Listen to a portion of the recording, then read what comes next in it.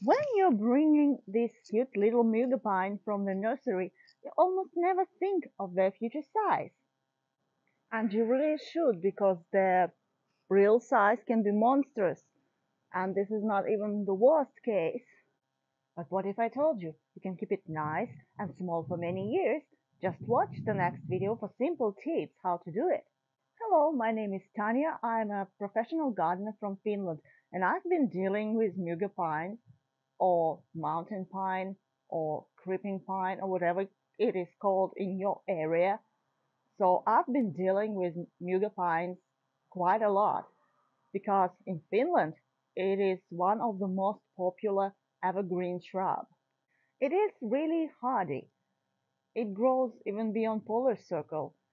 It almost never been damaged by spring sun. It can tolerate most types of the soil and it also drought tolerant which make which makes it an ideal plant for steep slopes. Mugo pine is a good shrub for a low maintenance garden. But if you let it grow naturally at some point it will go out of control, losing its charm and turning into a real monster. So this is what I personally do and recommend doing every year for keeping it in the best possible shape.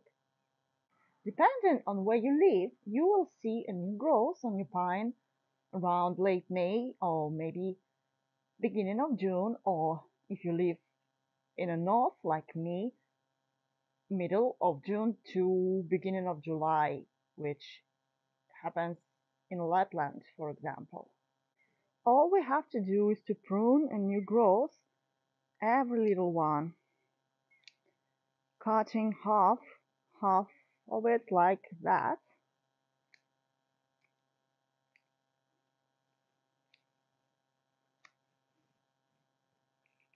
In a few years, it will result in a rounder shape and longer needles and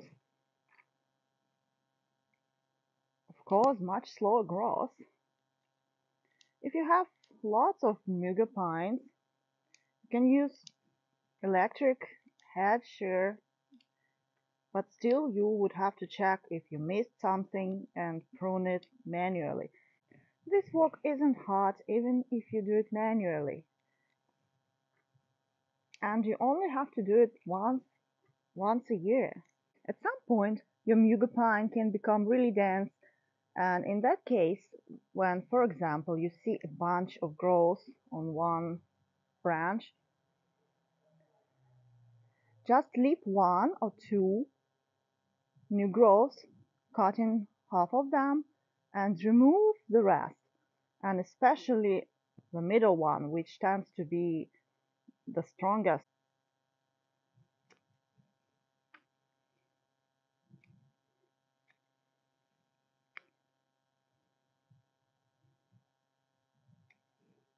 But the key is consistency.